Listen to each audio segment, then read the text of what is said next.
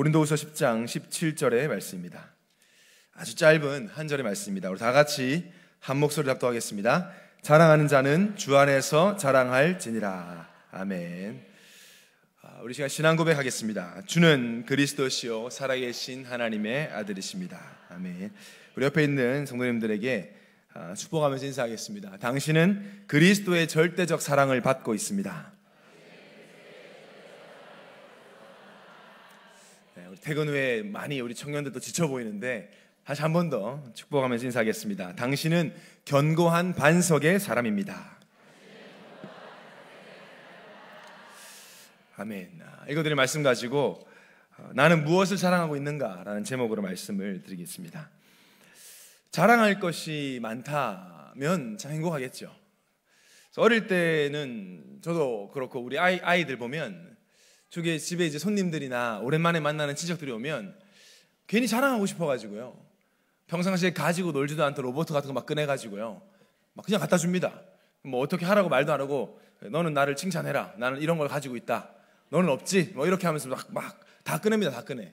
저도 그랬던 기억이 나거든요. 막 괜히 삼촌 들어오거나 사촌 형 들어오면은 탁 갖고 와가지고 막 봐라 난, 난 이런 거 넌 없지. 난 이런 거 있다.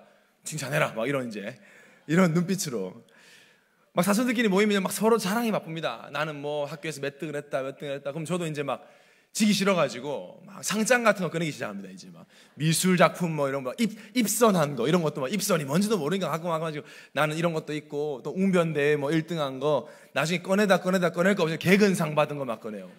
개근상 받은 거 갖고 나면 삼촌들이 음 성민이 건강하구나 뭐 이렇게 칭찬 칭찬할 게 없으니까요. 반대로 이제 자랑할 게 없다고 느껴지면 괜히 좀 남보다 내가 못하다라고 느껴지기도 하고요. 어릴 때는 그게 막 심지어 되게 서럽기도 해요. 나는 왜 이렇게 뭐 자랑할 게 없나. 괜히 분하고. 표준 이하구나, 내가. 이런 생각이 들기 시작하면 이제 열등감도 생기고, 비교의식도 생기고, 좀 그런 것 같습니다. 시간이 지나면서 이제 어른이 되고, 인간관계의 폭이 넓어지면서 많은 사람을 만나고 알게 되고, 알게 되잖아요. 아, 나보다 훌륭한 사람 참 많구나. 아, 잘난 사람 참 많구나. 나보다 돈이 더 많고 성공한 사람들이 참 많구나.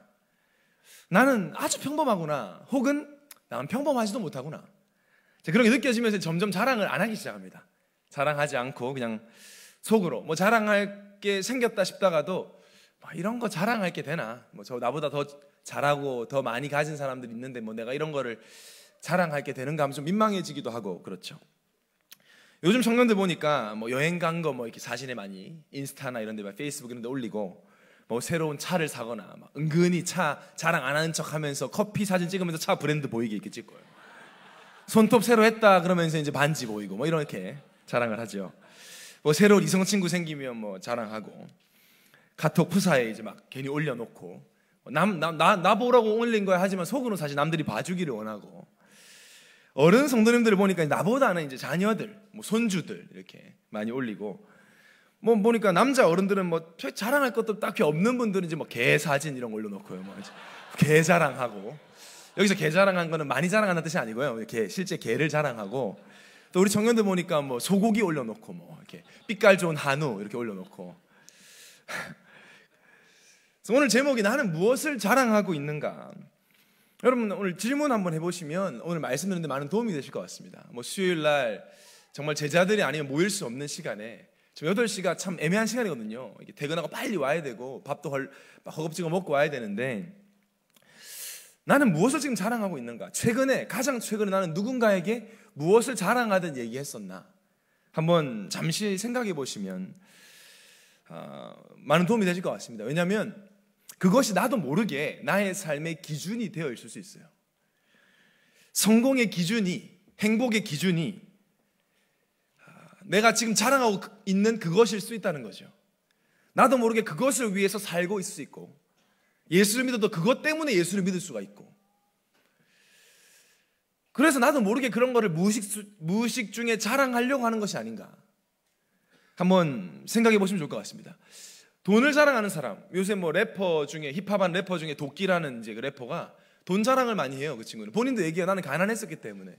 실제로 막 현금 5만 원짜리 이렇게 묶어 놓고 집에 이렇게 전시해 놓고 뭐 이렇게 막 부처 금으로 된 부처상 이런 것도 막 이렇게 남 혼자 사는데 그걸 또 누굴 보라고 이렇게 해 놨는지 막 보여주려고 애를 쓰고 좀 민망하잖아요. 뭐 자기보다 돈 많은 사람도 많을 텐데 뭐 어, 삼성 이재용 회장이 막 돈 이렇게 이렇게 자랑 안 하잖아요. 근데 본인들은 막 그거를 이제 민망하지도 않고 뭐 내가 뭐 좋아하는 거니까 자랑한다 이렇게 얘기하고요. 그 사람은 이제 돈이 기준이죠. 돈이 많이 번 게 성공이고 돈이면 다 된다. 실제로 그렇게 말도 하고 노래도 부르고요. 뭐 많은 부모님들이 자식의 인성이나 우리 애는 착해요 이런 자랑보다 우리 애는 성격이 참 좋아 이런 자랑보다는 이제 학교 들어간 거. 아유 뭐 공부도 별로 안 했는데 뭐 그냥 서울대 들어갔네 뭐 이러면서 이제 은근히 이제 자랑. 아유 뭐 학원도 못 보내줬는데 그렇게 했네 뭐 이렇게. 부모에게 이제 학벌이 기준된 부분들이 있죠. 먹고 사는 게 기준이면 먹고 사는 걸 중심으로 자랑을 하고 그걸 가지고 이제 인생을 꾸려 나가죠.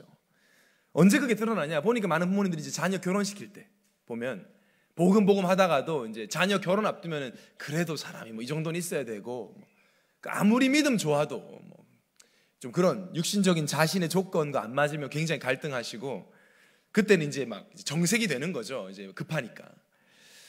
뭐 그게 틀렸다 말하는 것이 아닙니다. 세상은 그게 당연한 것입니다. 세상은. 세상에서는 당연한 거예요. 세상 기준으로 사는 사람한테는 그게 지극히 당연한 겁니다. 그런데 우리는 그리스도인입니다. 우리는 하나님의 사람이에요. 아무리 공감이 되고 동의하고 이해돼도 세상은 세상이에요. 세상은 무시할 수는 없지만 예수를 믿는 우리가 세상에서 말하는 성공이나 세상에서 말하는 그 육신적인 복이 우리의 기준 돼 버리면 좀 극단적인 말로 성경이 말하는 진짜 축복은 절대 맛볼 수 없습니다.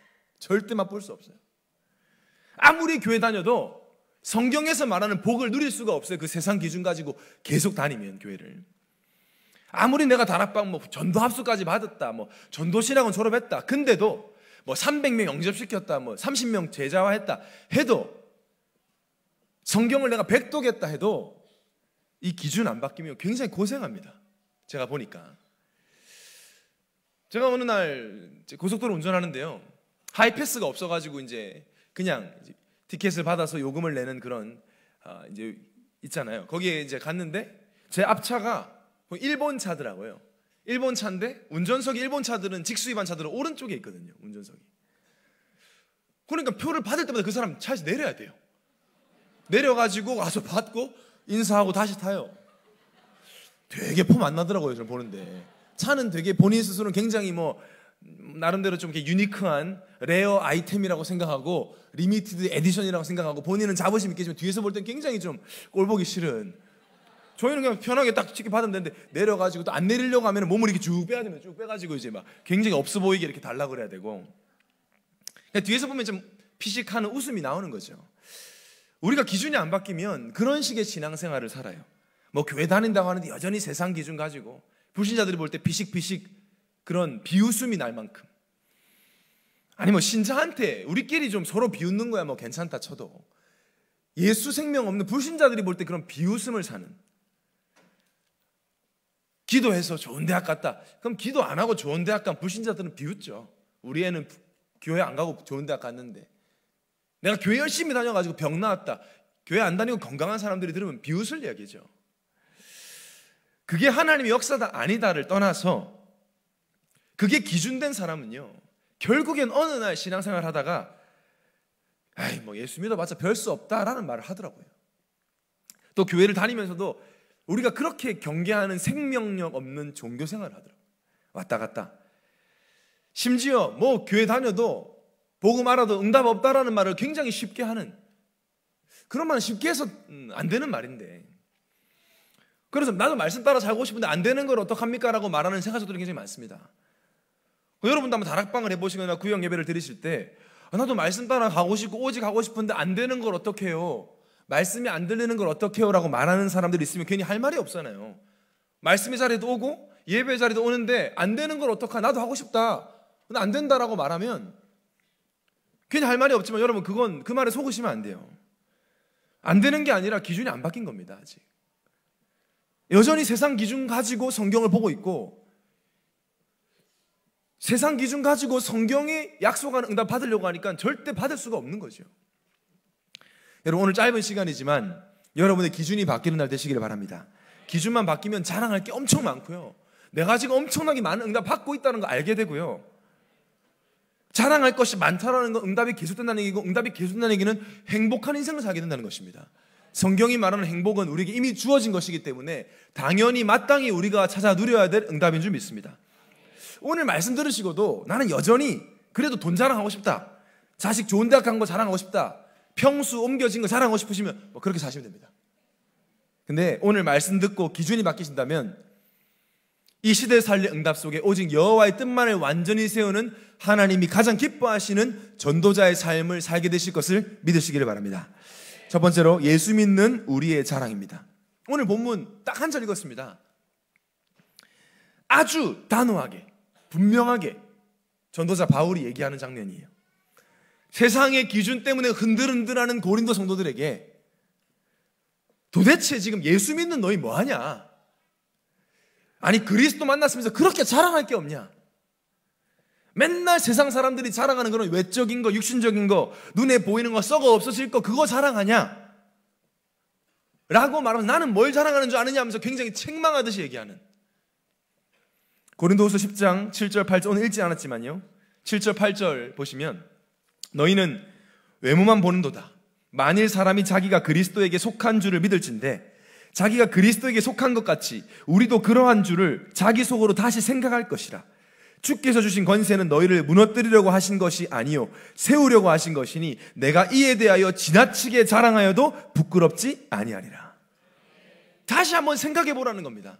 세상 자랑하기 전에 세상 거 없다고 눈물 흘리기 전에 다시 한번 생각해 보라는 거예요. 그리스도에게 속했다는 말이 무슨 말인지 아냐는 겁니다, 지금. 그리스도에게 속했다는 것이 얼마나 가치 있고 엄청난 것인 줄을 다시 한번 생각해 보라는 거예요. 자랑할 게 없다고 낙심하기 전에, 응답 없다고 좌절하기 전에, 나는 문제 많으니까 문제 해결해 달라고 기도하기 전에 그리스도에게 속했다는 말이 어떤 말인지 다시 한번 생각해 보라는 거예요. 여러분, 예수 그리스도 하는 권세가 어떤 것입니까, 이게? 얼마나 엄청난 말입니까? 예수 그리스도 안에 있다. 자랑할 자는 주 안에서 자랑해라. 여러분 그리스도 이 말 들으면 사단은요 부들부들 떨어요. 어쩔 줄을 몰라가지고. 아니 구약 시대 때 그리스도가 오지도 않았고 예수 그리스도의 그림자 되시는 유월절 어린 양 피 발랐을 때 애굽의 모든 가정의 장자들이 다 죽어버렸어요. 바로 왕의 아들까지. 마귀가 부들부들 떨어요. 그리스도 말만 들으면. 그 그리스도 예수 안에 우리가 속해 있는데 지금 썩어 없어질 것을 자랑하고 있어요. 바울이 답답해 미치는 겁니다, 지금. 아, 예수 믿으더니 포기할 게 많더라. 이것저것 못하게 된 것 아니냐? 그게 아니라는 겁니다, 지금. 엄청난 세상 성공과 세상 쾌락과 비할 바가 아닌 어느 정도냐? 지나치게 자랑하여도 부끄럽지 않다 그랬어요. 좀 지나치게 자랑해 보라는 겁니다. 남들 볼 땐 좀 심하네 할 정도로. 우리 담임 목사님 말씀하신 것처럼 예수에 미쳤다 소리 들을 만큼 도대체 뭐가 그렇게 자랑스럽냐? 궁금해서 물어볼 만큼. 그러니까 바울이요. 나는 너네들은 그런 거 자랑해. 나는 그리스도 예수 안에 있는 걸 자랑하겠다 그랬어요. 여러분 오늘 이 기준이 바뀌어나시기 바랍니다. 뭘 자랑해야 될까요? 오늘부터 여러분 이제 이 문 밖에 나가서 이제 마음껏 자랑하셔야 되는데 뭘 자랑해야 되겠습니까? 우리에겐 성공이 무엇입니까? 뭘 자랑해야 되느냐? 원죄를 알게 된 걸 자랑하셔야 돼요. 전 이렇게 힘없는 아멘이 나올 줄 알고 있었습니다. 전혀 당황스럽지 않습니다. 예상했습니다. 대박 날 거다. 로또 당첨될 거다. 이런 거는 막 신나게 우리가 자랑하겠는데 원죄 알게 된 거 자랑 안 해요. 근데 여러분 사실은 원죄 몰라가지고 지금 이렇게 고통당하잖아요, 사람들이. 모든 문제와 고통의 시작이 원죄예요. 다시 말하면 내 잘못이 아니라는 거죠. 첫 번째 인간에서 내려온 그 죄 때문에 지금 이렇게 많은 사람들이 전 세계 모든 인류가 똑똑한 사람, 대단한 사람, 좋은 학위 가진 사람, 뭐 애처가 공처가 할 것 없이 인격이 완벽하다, 뭐 성격이 좋다, 현모양 앙스다 상관없이 다 죄인이에요. 왜? 원죄 때문에. 모든 사람이 죄를 범하여서 하나님께 마땅히 영광 돌리며 살아야 되는 인간이 하나님께 영광에 이르지 못하는 비극적인 존재가 되어버린 사건이 바로 하나님을 떠난 원죄 사건이에요. 하나님을 떠나 원죄가 들어오니까 모든 사람들이 자동적으로 자기 마음대로 살고 싶어요. 저는 확인하고 있습니다. 모든 사람이 죄인이라는 증거 태어나면 전부 다 나중심이에요. 배운 적도 없는데 전부 다 100%나 중심. 신기하지 않습니까? 한명 정도는 예수님 중심으로 살 법도 한데 안 그래요. 70억 전부 다 태어나면 자기 중심이에요. 우리가 왜 이렇게 우리가 예수 믿으면서 왜 그렇게 아직까지도 세상 성공, 세상 기준을 열망하느냐? 그 원죄에 가진 죄인의 체질이 남아 있어서. 불신자들은 말할 것도 없습니다. 이 원죄 때문에 나도 모르게 나 중심이고 나도 모르게 육신 중심이고 나도 모르게 성공 중심으로 살아요. 날씨가 이제 많이 더워지니까 가장 많이 팔리는 음료수가 아이스 아메리카노랍니다. 아이스 아메리카노. 저도 사실 운동선수 할 때는 커피, 탄산 아예 안 먹었거든요.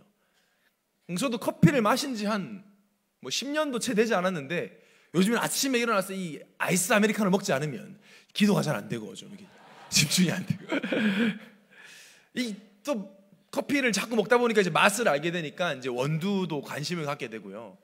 이게 뭐 원두 따라서 아주 제가 원하는 그 맛을 내는 커피를 마시면 참 기분 좋고 맛있어요. 전 또 밀가루 먹지 말라는 저는 밀가루에 거의 밀가루만 먹는데요.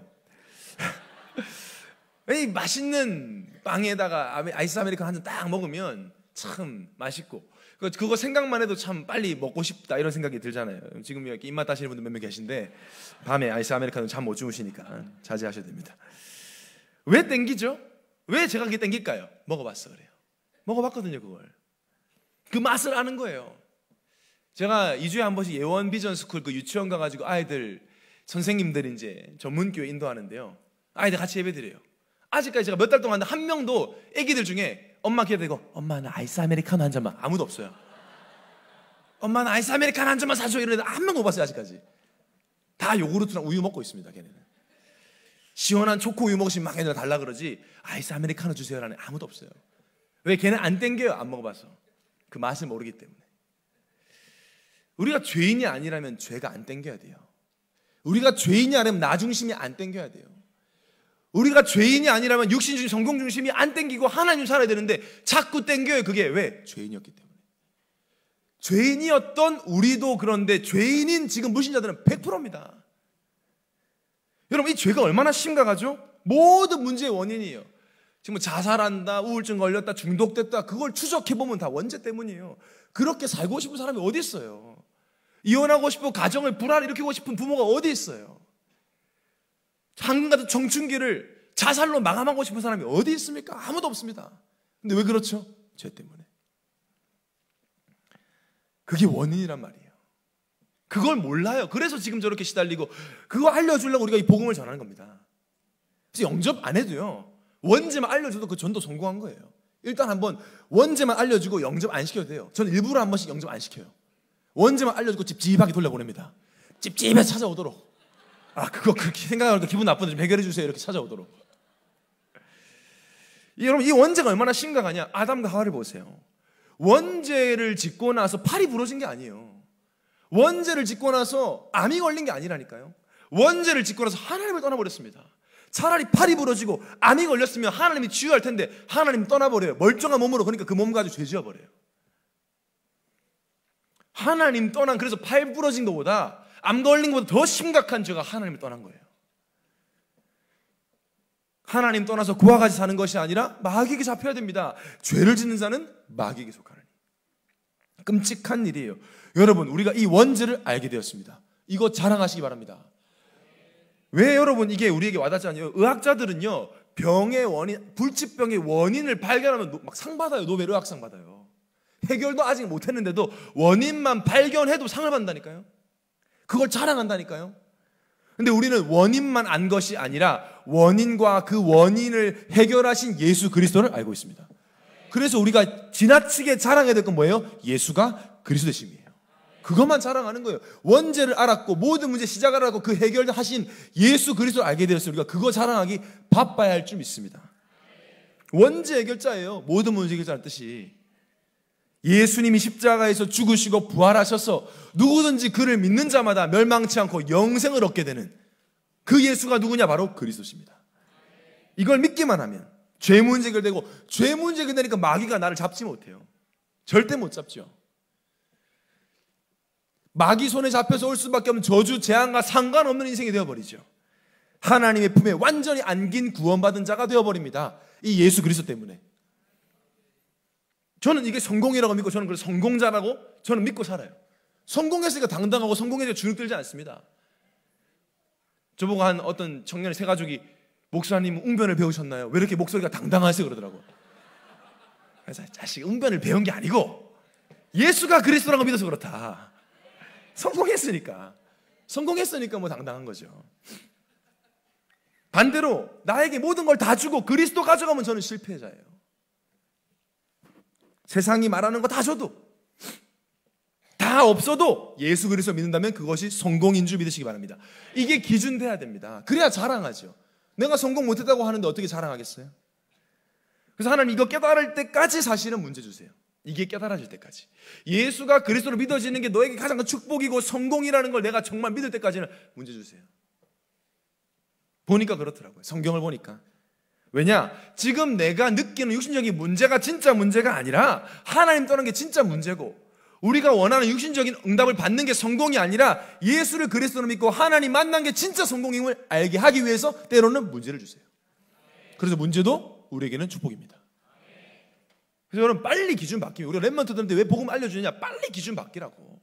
그럼 어려움 당할 이유가 없어요. 하나님이 무슨 변태도 아니고 막 어려움을 일부러 주고 그걸 즐거워하고 그런 이상한 하나님이 아니거든요. 하나님은 하나님 자녀가 마음껏 하나님 행복하면서 세상을 정복하기를 원하지 막 시달리는 걸 원하지 않으시거든요. 그 성경에 보면 이삭과 야곱의 차이, 아브라함과 이삭의 차이 뭐죠? 이삭은 어릴 때 빨리 기준이 바뀌었어요. 왜? 자기가 죽었어야 되고 칼이 자기 심장까지 왔다가 자기가 앉아 있어야 되고 다 죽었어야 될 그 번제 자리에 수양이 타 죽는 거 눈으로 봤고 냄새 다 맡았어요. 고기 타는 소리 다 들었어요. 시청각 교육을 다 받았다니까요. 저게 나여야 하는데 하나님이 예비하신 저 어린 양 때문에 내가 살았어. 그래서 앞으로 내가 사는 삶은 더 이상 내 삶이 아니야. 오직 주만이 사시는 것이야. 그러니까 이삭은 결혼도 하나님께 맡겨버리고 싸우지도 않아요. 요새 창세기 통해 계속 확인하잖아요. 우물을 파면 가져가라. 뭐 어차피 내 거 아니다. 그러니까 하나님이 셈에 그어져 버리세요. 반대로 야곱은 끝까지 인본주 쓰잖아요. 복음을 알았지만 그래서 엄청 고생하고 천국은 가죠. 저는 저희 아버지가 저를 두고 이삭으로 기도를 하셨대요. 얼마나 감사한지. 야곱으로 기도했으면 죽을 뻔했는데 이삭 같은 축복 누리기를. 그래서 아버 저희 아버지는 보니 아브라함 고생 좀 많이 하셨거든요. 저는 이제 이삭 어릴 때 이제 복음을 알게 됐으니까요. 그리스도를 알게 된 것. 한 번뿐인 인생에 그리스도를 알게 됐다는 건 본질이 바뀌었다는 겁니다. 이거 자랑해야죠, 우리가. 어떻게 본질이 바뀝니까? 제가 모리스 목사랑 친한데 모리스 목사한테 아무리 흰 쌀밥 먹여도 흰 백인이 되지 않습니다. 비비크림 막 발라도 절대 안 돼요. 왜? 본질이 흑인이기 때문에. 흑인이 백인 되는 것보다 더 어려운 게 죄인이 의인 되는 겁니다. 그 죄인이 의인 되는 유일한 길이 예수를 그리스도로 믿는 거예요. 이걸 자랑해야죠, 우리는. 12가지 문제, 사주팔자 운명과 관계없는 인생이 되었고 3, 4대가 저주받아야 되는 우리가 천대까지 복음을 전할 수 있는 복음의 명문 가정이 되었으니 우리는 이것을 마땅히 자랑해야 될 줄 믿습니다. 예수가 그리스도로 그것이 최고 축복이고 성공임을 아는 자가 이 땅에 살아가면서 계속해서 자랑해야 될 것이 하나 더 있는데 그게 뭐냐? 바로 예배할 수 있게 된 거예요. 여러분, 우리가요, 예배할 수 있다는 건요, 원래의 축복이 완전 회복됐다는 얘기예요. 이게 아무나 와서 예배 드리는 게 아니거든요. 하나님을 예배하겠다. 그것도 수요일 날 저녁에 피곤하고 힘들지만 하나님 예배하겠다라는 마음을 가진 건 원래 하나님이 의도한 원래 형상이 회복됐다는 더 이상의 축복이 없다라고 말할 수 있을 만큼 최고 축복입니다. 세계 보고만 하는 건 전 세계 모든 사람이 하나님 예배하게 하자고 하는 거예요, 지금. 이사야서 43장 21절에 이 백성은 내가 나를 위하여 지었나니 나를 찬송하게 하려 함이니라. 하나님이 의도한 대로 왜 우리 지었냐? 하나님을 찬양하고 예배하게 하시려고. 그것도 사단의 전략에 속아가지고 틀린 것을 예배하는 교회가 많은 이때에 우리가 예원교회에서 복음을 알고 저는 이게 주일 아침에 이렇게 일찍 와가지고 이렇게 뭐 찬양 같은 거 이렇게 들을 유튜브를 틀면요. 뭐 아무리 제가 말씀 많이 보니까 일반 많은 교회들의 실시간 예배 영상들이 생방송 나오잖아요. 우연히 한국의 아주 큰 교회 중에 하나인 뭐 말씀 못 드리지만 그 교회에 이제 말씀을 주일 일부에서 듣는데 야 좀 제가 비판은 아닌데요 정말. 막, 막 하면 된다 막 할 수 있다 막 서로 우리 외칩시다 하면 됩니다 할 수 있습니다. 긍정의 힘을 가지고 하, 근데 뭘 할 수 있다는 거지 지금? 하면 된다 할 수 있다?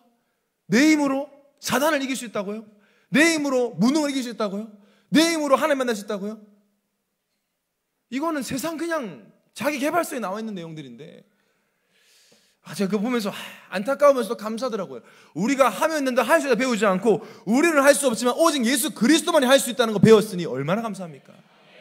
오직 예수 그리스도를 예배하고 세상 성공이 아니라 우리는 전도, 선교와 2, 3세를 살리겠다고 예배하는 우리가 이 예원교에서 예배하게 되었으니 마음껏 자랑하시기 바랍니다. 그래서 저는 우리 예원 청년들에게 늘 말합니다. 세상 청년들 뭐 인스타나 그런 데 보면은 뭐 치맥 먹은 거, 뭐 여행 간 거 이런 거 자랑하거든요. 뭐 행복하다. 그게 물론 행복하겠죠. 지금 그게 무슨 성경에서 말하는 행복 아니잖아요. 그럼 니들은 그런 거 자랑해. 우리는 내가 예수 그리스도를 믿고 하나님 예배하는 걸 자랑하겠다. 그래서 요새 많은 청년들이 막 그런 예배하는 모습을 이렇게 많이 자랑하더라고요. 여러분에게 오늘 이후에 이 예수 그리스도를 믿고 하나님 예배하는 것이 최고의 자랑거리가 되기를 예수님으로 축원합니다. 두 번째로 기준이 바뀌는 비밀입니다. 이 자랑을 하고 싶어도 내가 여전히 세상 기준을 가지고 있으니까 그게 잘 안 되잖아요. 와닿지도 않고. 왜 쉽게 기준이 바뀌지 않을까요? 어떻게 하면 기준을 바꿀 수 있을까요? 왜 기준이 바뀌지 않냐? 먼저 들어온 것이 있어요. 먼저 각인되고 뿌리 내리고 체질된 게 있습니다. 죄인으로 살면서 세상 기준이 먼저 들어왔기 때문에 쉽게 바뀌지 않죠. 치아를 교정을 하면 저는 교정 안 했지만 교정한 분들 보니까 1, 2년 하다가도 빼고 나면 다시 보조기를 껴야 돼요. 1, 2년을 그렇게 철로 묶어놨는데도 보조기를 하자면 다시 원래의 치아가 있는 대로 돌아가려고 해요, 치아가. 또 많은 분들이 이제 여름이 다가오니까 다이어트들도 막 하시고 갑자기 이제 옷이 안 맞으면 이제 갑자기 저녁도 줄이시고 하시는데 이 다이어트를 한번 해봐도 저도 막 이렇게 먹을 거 좋아하니까 관리를 하려고 하는데 아니 어떻게 된 게 정해놓은 것도 아닌데 그 전에 몸무게를 꼭 돌아가려고 그래요 이게 몸이요. 아니 뭐 시키지도 않았는데 줄어들진 않고 늘어가는 거 꼭 그렇게 돌아가려고 하더라고요. 익숙하니까. 제가 랩런트 신학교 아직도 잊지 못합니다. 면접을 딱 보는데 그 목사님 교수님하고 면접 보는데 물어보시더라고요. 자네는 어떤 목회자가 되, 고 싶은가? 그래서 제가 예상을 하지 못한 질문이니까 제 속에 있는 게 나오잖아요. 저도 모르게 뭐라 그랬냐면 저는 성공하는 목회자가 되겠습니다 그랬어요. 뭐 성공이 뭔데 물어보시더라고요. 그러니까 말로 표, 표 이제 그걸 포장을 잘해야 되잖아요. 아 그 뭐 왜 복음 가지고 왜 무능하고 무기력하고 나는 뭐 그건 아닌 것 같다. 진짜 좀 예원교회 같이 이렇게 뭐 많은 사람들에게 복음 전하고 영향력 주는 그런 목회자 되겠다. 이렇게. 그 사실은 제 마음 속에 좀 드러나고 싶고 니들보다 낫다. 나는 성공할 거다. 이런 들어가 있던 거죠. 희한하죠. 제가 어릴 때부터 복음 들었고 아기 때부터 복음 알았는데도 그런 게 저에게 남아 있어요. 희한하더라고요. 그래서 제가 3년 동안 랩먼 신학교를 다니면서 완전히 바뀌었습니다. 너무 감사해요. 하나의 은혜인데. 그래서 졸업할 때 졸업 이제 목회학 졸업 마지막 시험 때 마지막 이제 이게 논술 주관식 문제가 당신은 앞으로 어떤 목회자가 될 것입니까? 라는 질문이 있더라고요. 제가 거기다가 아직도 기억납니다. 이렇게 썼습니다. 내가 이 복음을 알게 된 것, 내가 예수를 그리스도로 믿게 된 것, 복음만 말씀하시고 어떤 핍박과 누명에도 굴복하지 않고 복음만 말씀하시는 전도자를 만난 것이 너무너무 감사해서 사실은 그 어떤 것도 저에게는 필요가 없습니다. 혹시 하나님이 아주 작은 일에도 사용하시겠다고 하시면 그 자리에 있는 목회자가 되겠다고 했었어요. 진심이었거든요. 진심이었는데 B 나왔어요. 뭐 조금 약간 실망을 A 받을 줄 알았는데 근데 그것도 상관없을 만큼 제가 최정호 목사님이 삐를 주셨어요. 제가 사실 그 얘기 그걸 쓰고 말한 것을 제가 혼자서 내가 어떻게 바뀌었지 이걸? 내가 이런 사람 아니었는데 드러나고 싶고 인정받고 싶고 막 나대고 싶은 사람이었는데 왜 내가 이렇게 되었지? 뭐 했지? 3년 동안 내가 뭐 했지? 라고 생각해 보니까 다른 게 아니라 정말 복음에 집중했더라고요. 여러분 복음 집중이 뭐죠? 그리스도 그리스도 그리스도 이게 복음 집중 아닙니다, 여러분. 그렇게 오해하시는 분들이 있더라고요. 너 막 그리스도 그리스도 그게 아닙니다. 주문해 오는 게 아니에요. 복음 집중은 복음이 개인화되는 게 복음 집중이에요. 복음이 내 것 되는 거 쉽게 말하면 성경의 이 복음 말씀이 나의 이야기로 들려지고 깨달아지는 걸 보고 복음 개인화라고 합니다. 하나님 말씀이 나에게 주시는 말씀이고 내 인생에 대한 이야기다. 라고 들려지고 깨달아져야 붙잡아줘요. 그게 내 이야기니까 붙잡죠. 남의 이야기는 뭐하러 붙잡아요? 내 이야기니까 붙잡는 거거든요. 아, 내가 그동안 그렇게 왜 이렇게 힘들었지? 왜 이렇게 고생했지? 왜 이렇게 비교식 열등감에 지어 살았고 왜 이렇게 수치스러움 느꼈지? 라고 질문하고 생각하는 중에 하나님을 떠나서 수치스러워하는 아담의 모습이 제 모습으로 보이더라고요. 무화과 나무는 뜯어가지고 얼른 얼른 부끄러움을 가리고 임시방편으로 넘어가려고 하는 그때 그때 그냥 임기응변으로 넘어가려고 하는 그런 모습이 내 모습이더라고요. 근데 예수 분명히 믿는데 하나님 만났는데 왜 내가 이렇게 어려움을 당했고 왜 이렇게 복음을 누리지 못했지? 보니까 우상 숭배했더라니까요. 하나님 믿으면서 우상 숭배래요. 호세아 아내 고멜. 저는 호세아의 아내 호세아서 얘기할 때마다 좀 불편하더라고요. 혹시 그런 아내 만날까봐. 그러라고, 그러니까 그렇게 듣는 거예요, 메시지를. 아이고, 호세아 불쌍하다. 아이, 그릇이 크네. 그렇게 생각했는데, 하나님을 사랑해요라고 고백하고, 랩먼 대회 때 뭐, 그루터기 울면서 노래 부르고, 집에 돌아가서 세상을 더 사랑하고, 육신 걸 더 사랑하는 그 모습이 제가 바로 고멜이더라고요. 하나님 본 앞에서 바람 피고 있더라고요. 간음을 하고 있더라고요. 성전 미문 앞에 앉은 안진뱅이가 나구나. 안진뱅이 주제에 은가금으로 해결하려고 하는. 혼자서 아무것도 못하면서. 이번 주 2부 강단에 나왔던 베데스다 못에 누워가지고 틀린 소문과 헛소문 듣고 유행을 바라고 있는 그 모습. 진짜 제가 미국에서 힘들 때 로또 사봤다니까요, 정말. 부끄러운 고백이지만. 하나님, 이번에 대기하시면 RTC를 지켰습니다. 이러면서. 약을 팝니다, 하나님 앞에서. 그러니까 한마디로 말하면 희망 없고 소망 없고 절망 속에 있던 나를 이런 나를 하나님이 사랑하셨고 이런 나를 위해서 예수님이 죽으셨고 나를 구원하셨구나. 아, 그래서 그리스도 말씀하셨구나 지금까지. 그래 나에게 은각은 필요한 게 아니지. 나에게 좋은 아내나 나에게 성공이 필요한 게 아니지. 나에게는 그리스도가 필요했구나. 그래서 그리스도를 모든 것이라고 하는구나. 나의 이야기로 딱 보여지는 그 순간부터 복음이 내 것이 되더라.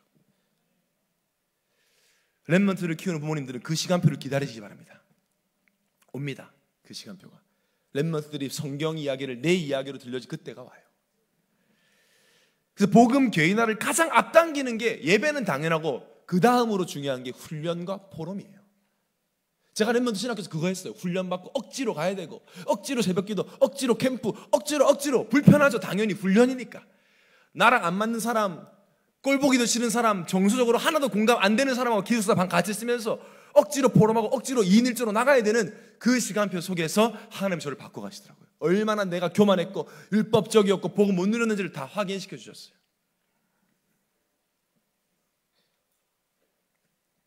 그게 성경에 나와 있더라고요.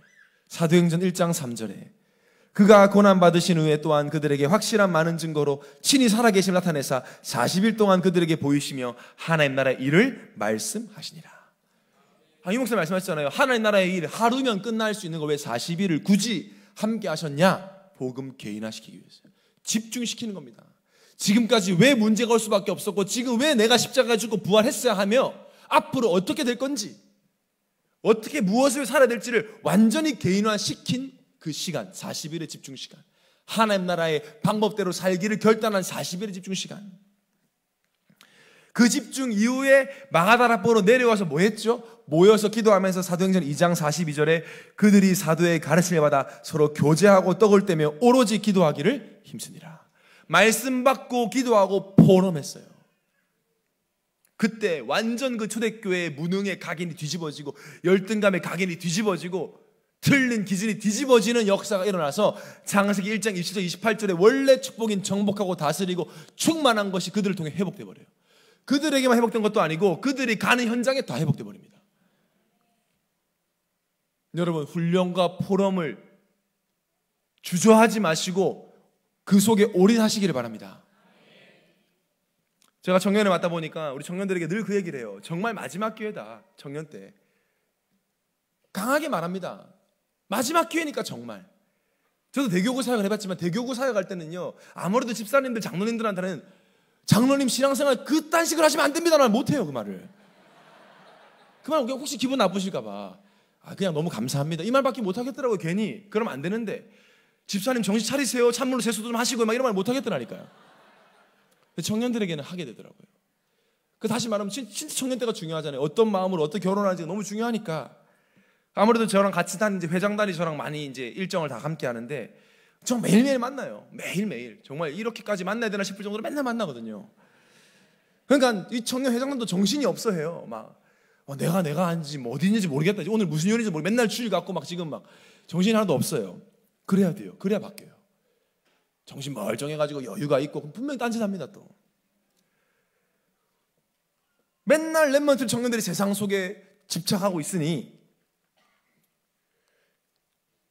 그러니까 저번에 이제 40일 집중을 같이 했거든요. 40일 동안 매일 삼원을 올리고 막 밀가루 안 먹고 막 그때 했어요.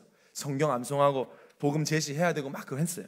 하니까 막 제가 막 기도할 수 없는 그 방에 흑암을 꺾으면서 방 청소시키고 막 그러거든요.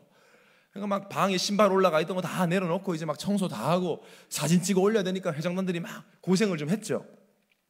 그러니까 살도 빠지고 방도 깨끗해지고 좋잖아요. 근데 요즘 다시 돌아와요 또. 방도 지저분해지고 살도 찌고 막 산, 사놨던 옷도 못 입고 있고. 그러니까 지난 주일날 저희 청년회에서 가족 초청 예배를 드렸거든요. 많은 부모님들이 이제 모시고 기존 청년들도 불신자 부모님도 초대했지만 기존의 청년들도 부모님 다 모시고 재밌더라고요. 딱 봐도 그냥 아 엄마시구나 알게끔 똑같이 생겼고. 근데 참 희한한 일들이 있었는데 부모님들이 회장단 어머니 아버지 저한테 오시더니 목사님 아, 감사합니다 하면서 목사님 근데 40일 한 번 더 하시지요. 방이 더러워지고 있습니다. 그래서 제가 한 번 더 할 생각입니다, 지금. 요새는 또 유목사님 학도 소금 먹지 말라고 해서 한번 이번에는 저염식을 한번 도전해 볼까 하면서 왜냐면 배가 많이 부르면 밤에 기도가 잘 안 돼요.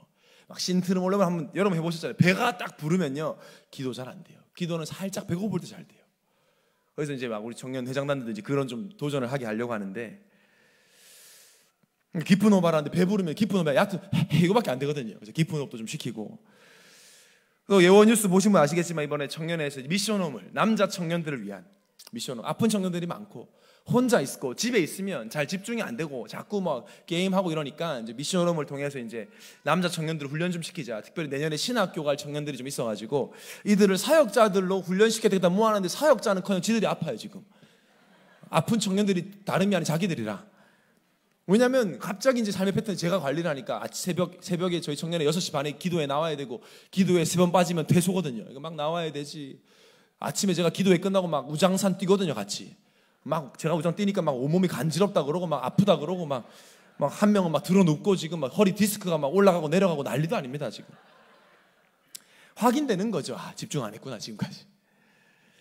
저는 개인적으로 이런 훈련, 포럼, 우리 예원의 모든 전도회에서 되어지면 사천 말씀 운동은 쉽게 되어질 거라 확신합니다.